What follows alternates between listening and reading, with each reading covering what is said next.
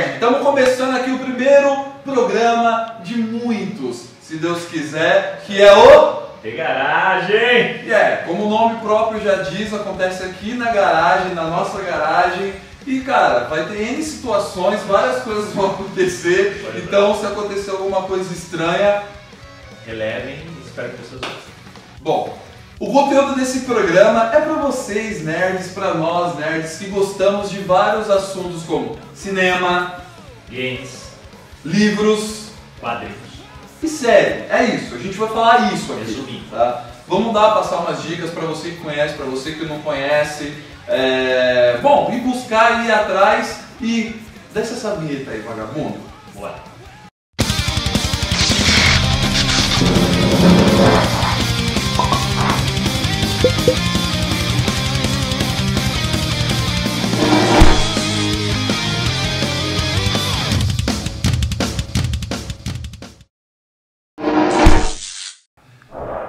Cinema.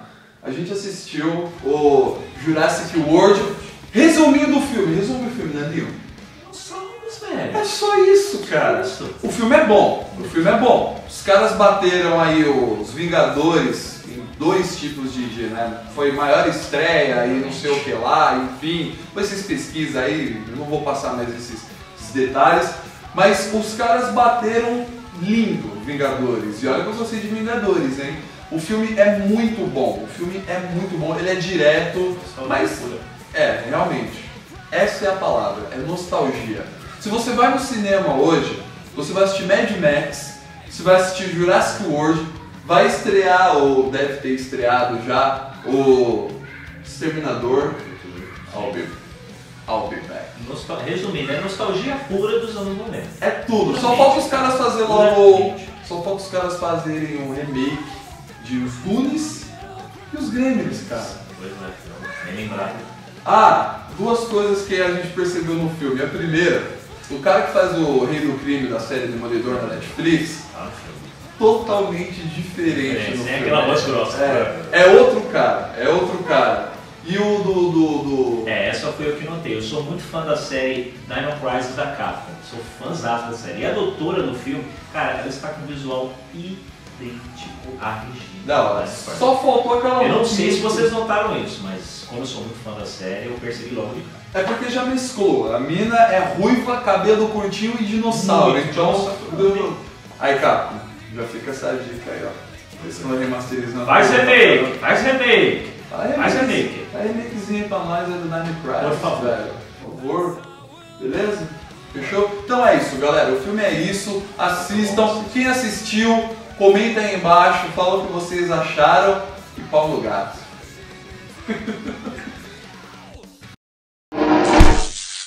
Falando um pouquinho agora de games, pessoal. Games. Estou aqui com esse lindo jogo, por favor. The Witcher 3. The Witcher 3. Cara do céu. Olha isso. Pô, qual jogo de Play 4 tem uma, uma luvinha dessa? o nome disso é luva, tá? De algum jogo que vem com mas enfim. Agora, pelo valor de 229 Dilmas, Isso é o preço oficial, porém, Preço né? Porém, a gente tem uma diquinha pra vocês, Vamos. uma diquinha no final aí depois pra vocês. Cara, The Witcher 3 conta a história do bruxo Geraldão de Rivia, o Geralt de Rivia. A dublagem do jogo tá excelente, excelente. O Geraldão aqui ele é um caçador de monstros, ele é um bruxo caçador de monstros. E, enfim, eu não vou dar mais é, da história pra vocês, depois vocês pesquisam aí, se virar. Vocês pesquisam qual que é a história do jogo, mas é sensacional. Mas resumindo um pouquinho, é só o bruxo Geralt atrás da filhinha de criação dele, né? A Ciri, que é a filhinha de criação dele. E, enfim, aí o jogo vai se desenrolando. Prometeram mais de 200 horas de jogo. Pelo menos. 200 horas. Pelo menos. Sem contar nas duas DLC que estão pra sair, que vão adicionar mais 40 horas de jogo. Mas olha isso, cara. Você pega hoje, você, você, você não entende. Você pega o seu dinheirinho suave. Aquele dinheirinho suave que você gastou. Pô, cara. Você compra um jogo, você abre aqui, ó. Olha os. Ah! Olha o capricho. Não tem nada no jogo. Não tem nada na capinha. Mas olha o que os caras da CD Projekt fizeram. Primeiro, o jogo tem um manual. Cara, manualzinho é raro de se ter. Segundo, os caras trazem aí um universo do The Witcher, um mini compêndio também junto. Outra coisa, os caras te dão dois adesivos, um eu já gastei, já colei lá no meu Play Já 4. tá. Ficou lindão, ficou bonito, ficou bacana. Os caras escreveram uma cartinha pra vocês, da CD Projekt Red. Escreveram uma cartinha pra você falando do seu dinheirinho suado. Os caras estão agradecendo por você ter comprado o jogo deles. E.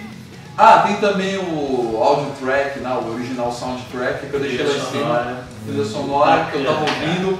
Muito boa a trilha As sonora. musiquinhas pique era medieval, assim, sabe? Bem, bem celta, bem celta as musiquinhas do cara.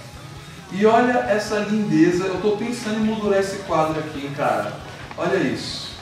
Um mapa, Fantástico. cheiro delicioso, só quem é viciado em livro entende esse. E apesar do cartaz ser pequeno assim, acreditem, o mapa é O mapa é gigante, gigantesco. é enorme. Mas cara. para os apressadores de plantão, tem aquele sistema de viagem rápida. É, porque, né, pelo amor de Deus.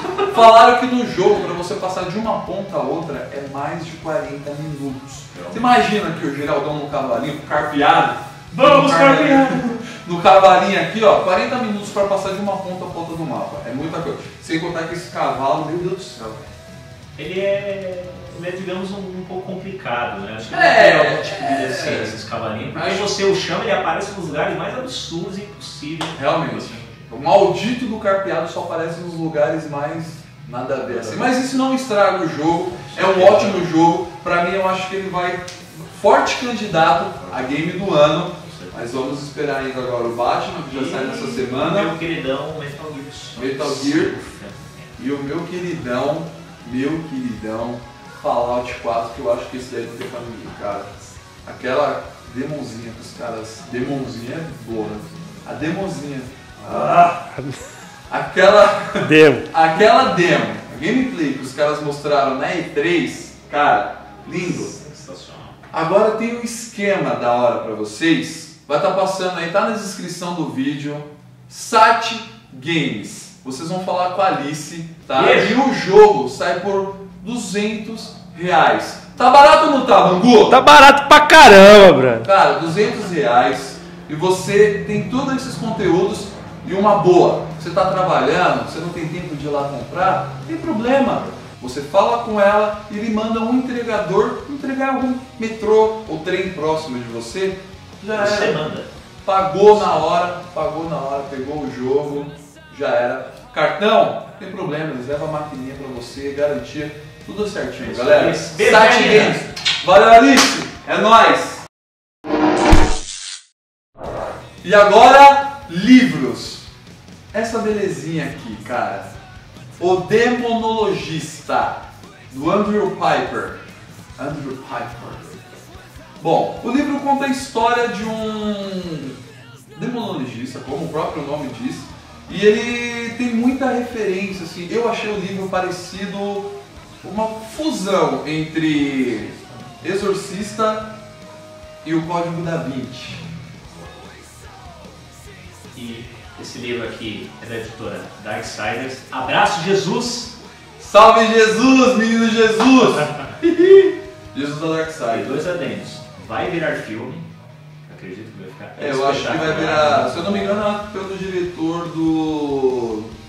acho do Forrest Gump, se eu não me engano, se eu não me engano, tá? Mas depois a gente põe aí, mas acho que vai ser um filmão, E também esse livro ficou, ficou entre o, na lista dos 10 mais vendidos da Folha e Veja.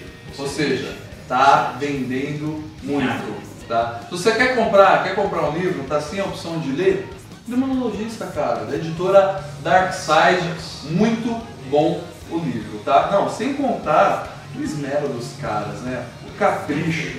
Acabamento. Olha isso, velho. A- a- O acabamento dele parece como se fosse aqueles livro antigo.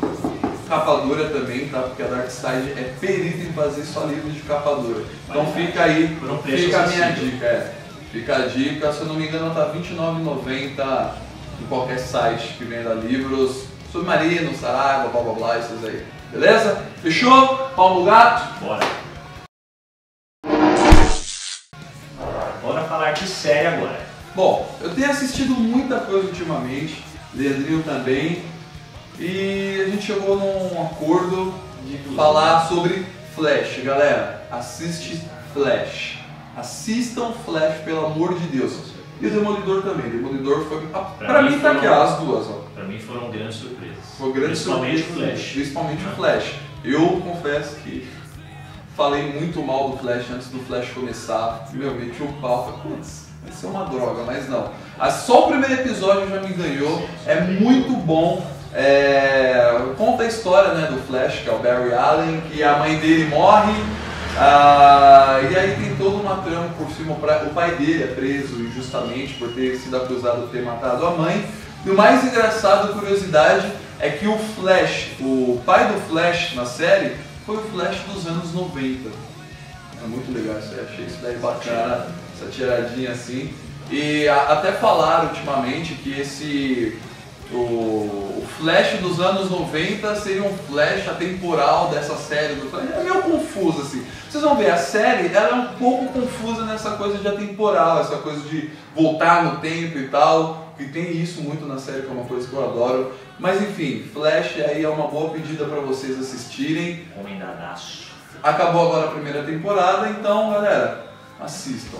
Boa demais. E também o Demolidor na Netflix, os caras já liberaram todos Os episódios os de uma só vez e já confirmaram Justiceiro na segunda temporada, cara, ó.